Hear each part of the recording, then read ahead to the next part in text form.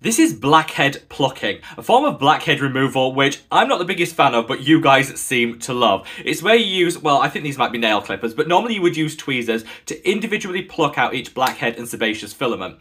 In some ways this can be beneficial because it means you're getting everything out, but I'd like to see it actually collected on a gauze rather than just left on the nose. I've showcased videos like this on the channel before and it always divides opinions, so let me know what your thoughts are on blackhead plucking. If you're a huge fan, leave the heart emoji in the comments. If you're not a fan of this style and approach, leave a cross emoji in the comments too, so we can kind of have a look at what public opinion really is when it comes to blackhead plucking. For me, I think it's too time consuming, I'd rather use a pore strip, but let me know your thoughts in the comments. Like and follow for more. Take care.